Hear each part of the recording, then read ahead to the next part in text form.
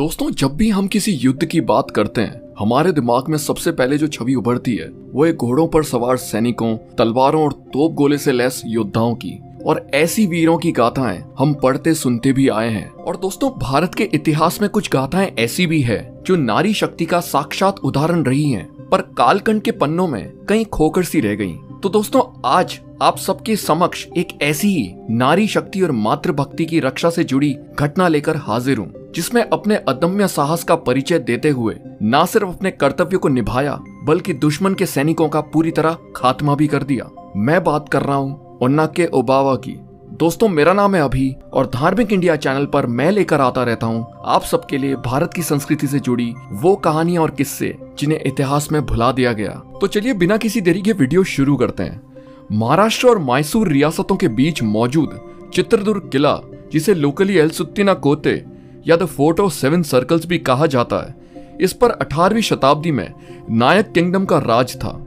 कई ऐतिहासिक युद्ध का साक्षी रहा ये किला हमेशा योद्धाओं के आक्रमण और कब्जा करने की लालसाओं का केंद्र बना रहा। उस जमाने में हैदर अली अपने क्रूर शासन और पावरफुल मिलिट्री लीडरशिप के लिए जाना जाता था। अपने द्वारा लड़ी लड़ाइयों में वो गाँव, शहर और उनके खजाने लूट लिया करता था। पर इस कहर से चित्रदुर्ग सुरक्षित था। क्योंकि चित्रदुर्ग के राजा, मादाकारी नायक ने हैदर अली से संधि की हुई थी। पर किसी गुप्तचर के कान भरे जाने से क्रोधित होकर हैदर अली ने आखिरकार चित्रदुर्ग पर भी हमला करने का फैसला कर लिया। वैसे चित्रदुर्ग का किला अपनी असीम सुरक्षा और आक्रमणकारियों के इरादों को विफल करने के लिए भी मशहूर था। और इसी वजह से हैदर अली की सेना कूटनीतिक तरीके जैसे रिश्वत, गुप्तचर भेजना निगरानी रखवाना और कई आक्रमणों के बाद भी चित्रदुर्ग पर कब्जा करने में विफल रही। ऐसा ही एक मौका पाकर हैदर अली को किसी गुप्तचर द्वारा सूचना मिली कि चित्रदुर्ग के किले में एक छोटी सी किंदी यानी कि सुराख मौजूद है, जहाँ से एक वक्त पर एक इंसान के घुसने जितनी जगह है और यही इकलौता रास्ता है जहाँ से किले के भीतर दाखिल हुआ जा सकता है। पर इसमें समस्या ये थी कि उस किंदी की रखवाली एक वफादार पहरेदार, जिसका नाम कलानायक था, वो किया करता था। पर दोपहर में कुछ वक्त के लिए वो खाना खाने घर जाया करता। तब वही किंदी असुरक्षित होती, और यही वो वक्त था जब एक एक करके हैदर अली के सैनिक उस किंदी से किले में दाखिल हो सकते थे। तो योजना के मुताबिक, एक दिन जब कलानायक खाना खाने घर गया तो घर पर पीने का पानी ना होने की वजह से उसने अपनी पत्नी को, जिसका नाम ओबावा था, पानी लाने को भेजा। अब हुआ यूँ कि जहाँ से वो पानी भरने गई, वो जगह ठीक उस किंदी के पास मौजूद थी और ओबावा ने वहीं से किंदी की तरफ़ लाइन से आते हैदर अली के सैनिकों को देख लिया। ओबावा अपनी अदम्य बहादुरी का परिचय देते हुए किंदी के भीतर बैठ गई और अपने हाथ में बड़ा सा लकड़ी का मोटा मूसल, जो खेतों में धान कूटने के काम आता था, जिसे कन्नड़ में उन्नाक के कहा जाता है, लेकर सैनिकों के आने का इंतज़ार करने लगी।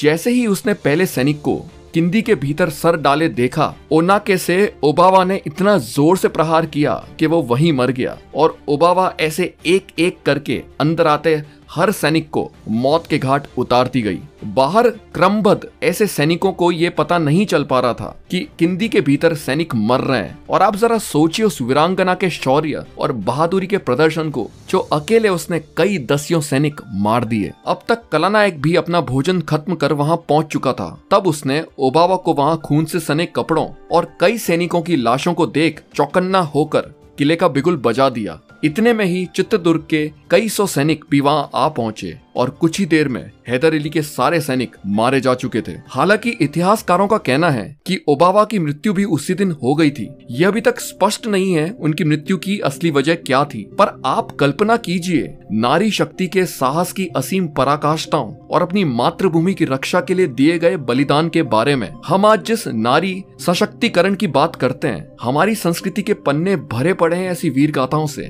जिसे हम इस चैनल धार्मिक इंडिया पर लेकर आते रहते हैं आप सबके लिए, ताकि आप रूबरू हो सके हमारे सुनहरे इतिहास के इन विरासतों के बारे में। तो दोस्तों, फिर मिलता हूँ अगले वीडियो में। तब तक के लिए अपने दोस्त अभी को इजाज़त दें। जय भारत वर्ष जय माँ भारती।